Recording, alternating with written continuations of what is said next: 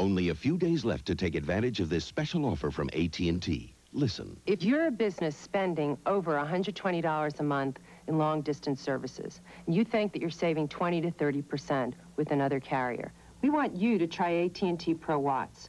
We'll waive the installation charges, waive the change charges, and if you're not satisfied and agree that we have the best value, price, and quality, at the end of 90 days, we'll pay to put you back on your other long-distance vendor. You can save 10 to 38% on AT&T long distance. And that's not all. With AT&T PRO WATS, no special lines or equipment are needed.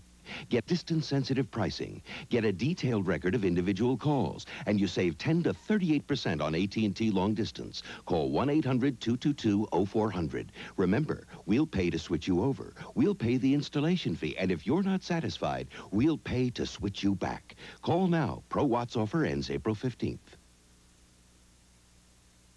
What does the one-minute rate comparison mean to you as, as a company? There aren't too many people I know that speak for exactly 60 seconds and hang up. The real question is, how do you compare in the volume of calls that I have to make to the locations that I have to make for the amount of time and the time of day?